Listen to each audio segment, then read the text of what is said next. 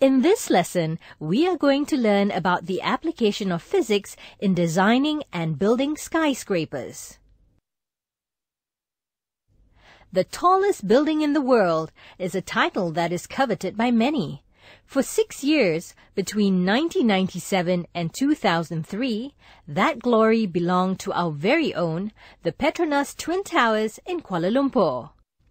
Standing at a grand height of 452 meters or 1,483 feet, each of the towers has 88 inhabitable floors and a decorative spire.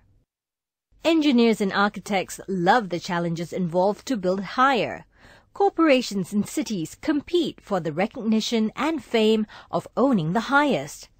This makes the race to build taller, higher skyscrapers one of the most competitive contests in construction. Can you imagine what are the challenges of building a skyscraper?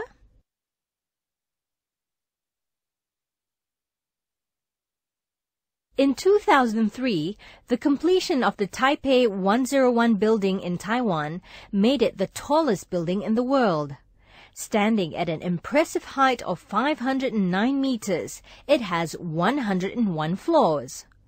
However, before the year 2009, we may see yet another champion claiming the world's tallest title as construction is already underway in countries like Hong Kong, China, the United States of America, and the United Arab Emirates.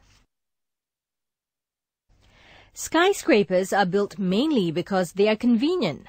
A lot of living and workspace can be created using relatively small this is especially important in busy cities where businesses require their premises to be centrally located. The picture shows the next four tallest buildings in the world. As you can see, they are all located in major cities. They are the Sears Tower, Chicago, the Jin Mao Building, Shanghai, the Empire State Building, New York City, the Central Plaza, Hong Kong. If we were to line these magnificent buildings beside each other, this is how they would measure up.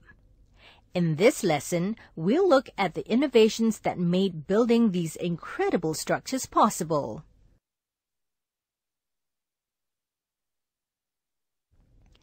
The main obstacle when trying to build upwards is the downward pull of gravity.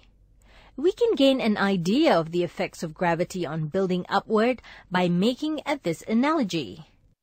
To make a sturdy cheerleading pyramid, more people are needed at the bottom layer to support those on top. This is how skyscrapers are built. Real pyramids and other stone buildings also work this way. More material has to be used at the bottom to support the weight of the top layer. A pyramid could be built indefinitely by increasing its base. This is how skyscrapers are built.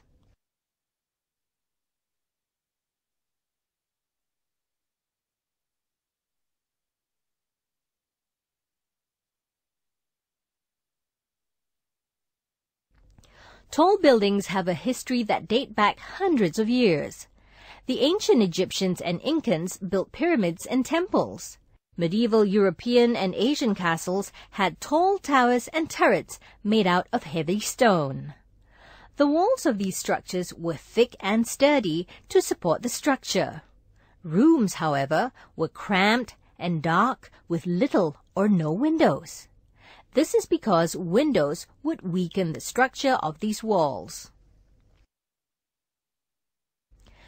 The Industrial Revolution saw engineers experimenting with two new kinds of building material, iron and steel, which are lighter and stronger than stones, brick or mortar. Steel in particular was found to be light, could be made into tensile and strong beams. The 10-story home insurance building in Chicago was the first building supported by vertical steel columns and horizontal steel beams. Since the support came from the steel skeleton of columns and beams, the walls could have windows. We will now see how the modern-day steel skeleton of a skyscraper works to support it. Firstly, steel beams are riveted end to end, forming vertical columns. At each floor level, horizontal steel beams, known as girder beams, are also connected to the vertical columns. These colossal three-dimensional grid, known as the superstructure, directly transfers the weight of the building to the vertical columns. The weight is then transferred to the substructure under the building. The curtain wall only needs to support its own weight, thus enabling the structure to use a lot of glass. Click on the Build button to know how the skyscrapers are built.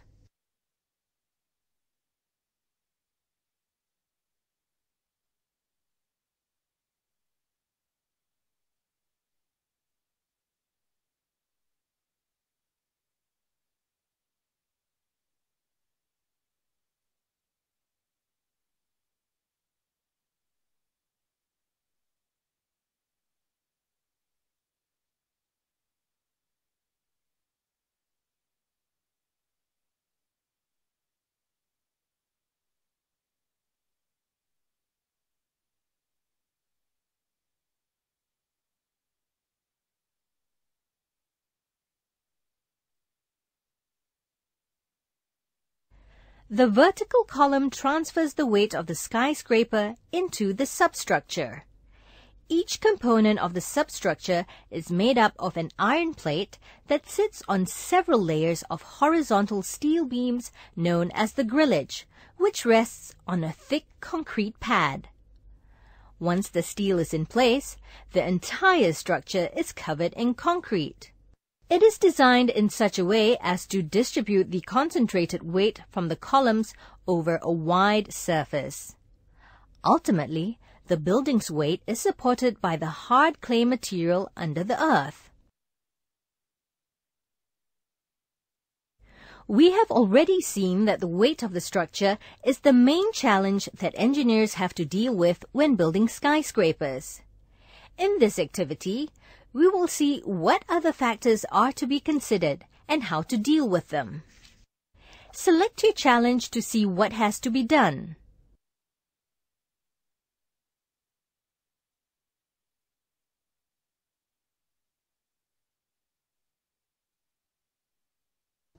Forces that act on a structure are called loads. A strong, stable structure can withstand various kinds of loads. To be able to build a strong, stable structure, we need to determine the external forces that will challenge it. Choose a challenge to see how it affects big structures.